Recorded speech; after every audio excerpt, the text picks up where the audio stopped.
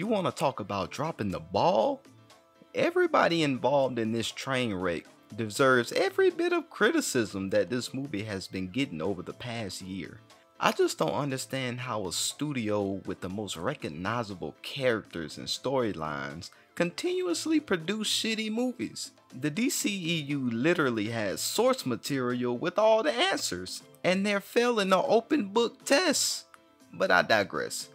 By the way, there will be spoilers in this video, so if you haven't watched Black Adam by now, turn the volume down and go watch it. I need the views. Also, be sure to like, subscribe, and hit that notification bell while you're at it. We both know you're not supposed to be here. So, in 2007, it was announced that Dwayne The Rock Johnson was going to portray Black Adam in a Shazam film that was in the works at the time. That film went through development hell for a long time.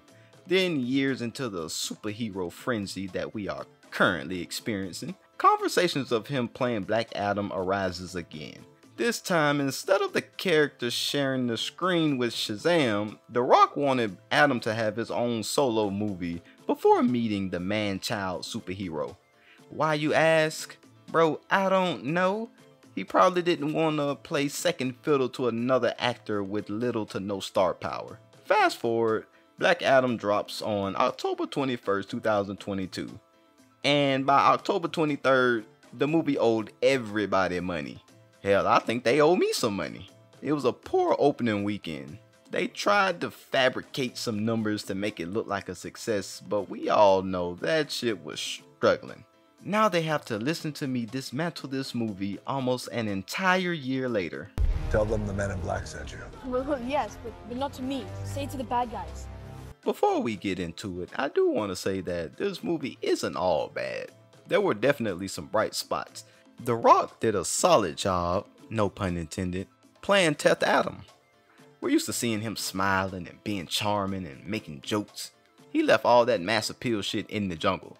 He brought intensity and a force that a character like Black Adam embodies. His overall performance deserves some praise. Also, this movie doesn't drag at all. Almost instantly, we're put in the middle of the drama, and you know I like drama. The music is intense and it intensifies as the movie progresses. It goes from mildly intense to shit getting real out here. I do think a R rating would have been a little bit more suitable for the direction that they wanted to go in, but I was satisfied enough with the PG-13 violence. It was definitely straddling the line though. With movie nowadays depending on CGI, you have to acknowledge it. In this case, the CGI was pretty good. When I saw it in theaters, I thought to myself that maybe the DCEU is actually making some progress in that department. Then the Fury of the Gods and The Flash came out and they lost all credibility. Now, on to the bullshit. You gotta be kidding.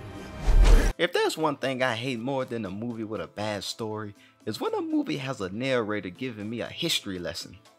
The top of Black Adam starts off with Amon telling us about the history of Kahndaq, Eternium, and the Champion. Bro, let us learn all this information as we watch. As many times as they have referenced all of this throughout the film, we didn't need to be told this as soon as the movie started. Then we have Hawkman introducing his Little League Baseball team. That introduction scene made me palm my face. We do not care enough about them for them to be formally introduced. Have them in place already and slide in some background information like you did here. It's not as cool as nanobots. Well, the wind thing is called aerokinesis. And the nanobots were injected into my bloodstream by this really messed up scientist. Perfect example there. Don't overdo it with dialogue. Just something that doesn't require an entire scene dedicated to it. Atom Smasher was fascinated with Cyclone manipulating nanobots to heal Karim's gun injury, which led to Cyclone giving some insight on her past. From this conversation, we can infer that this was their first time working with each other, or they haven't worked with each other for that long. No introduction scene or background check needed. Plus, I don't like these team up movies disguised as solo films. The only exception is Captain America Civil War.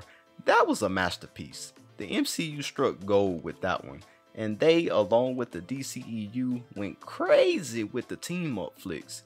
This is supposed to be a Black Adam film. not a Black Adam and a party of four. The final battle really pissed me off. The fight should have solely been between Adam and Sabbac. You would think the most important fight scene in the entire movie would be between the title character and the main antagonist, who we really don't see until the final act. I'm also very tired of these villains getting jumped. They did the same thing in Thor Love and Thunder. Jane and Thor ganged up on Gorr, now Adam and Hawkman tag team Sabbac. How are we supposed to view Black Adam as the champion of Kahndaq when he can't even defeat a devil who has been out of commission as of 10 minutes ago? And his army is strung out on drugs. That army couldn't fight a cold.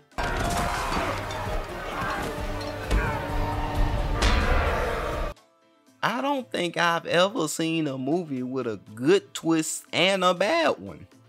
Revealing that Black Adam is actually the father of Harut, who the wizards initially gave the power of Shazam to before he transferred them to Teth Adam.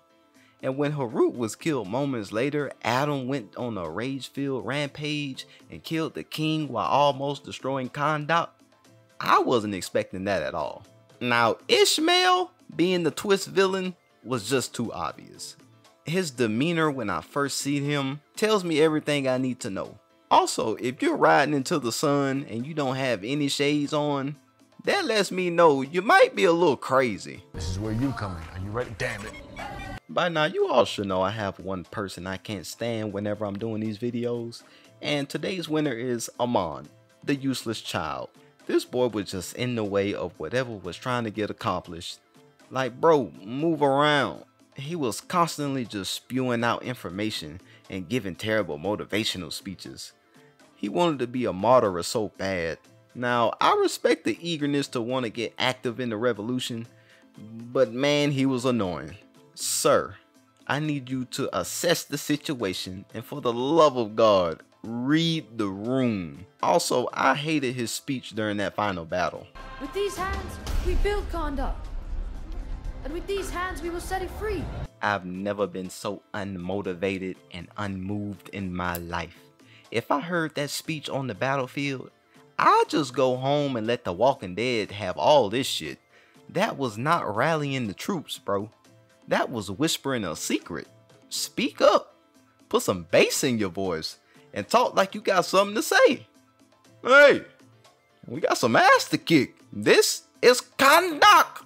Then roll in on your skateboard, war ready, throwing up the Illuminati sign. Let the demons know they're about to go back to hell.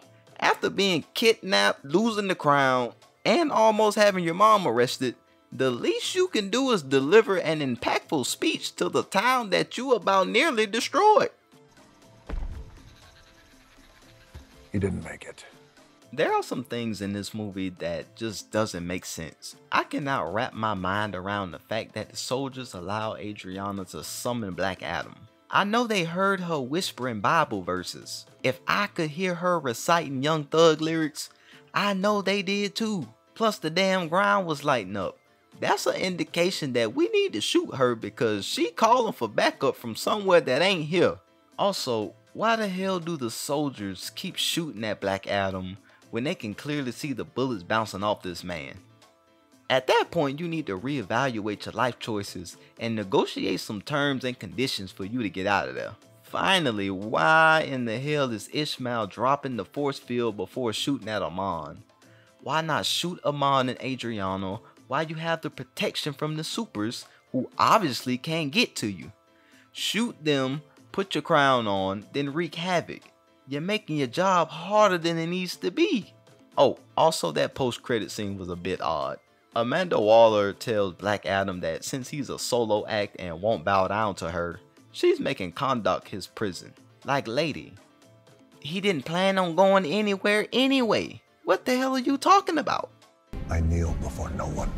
As much of a dumpster fire the movie Black Adam was critically and financially, it's enjoyable. The script was definitely dated. If this movie came out in 2008, I guarantee you it would have broken records. Honestly, the heavy action and intense music makes this movie watchable. The CGI not being terrible also makes it visually appealing enough to not roll your eyes in the dark.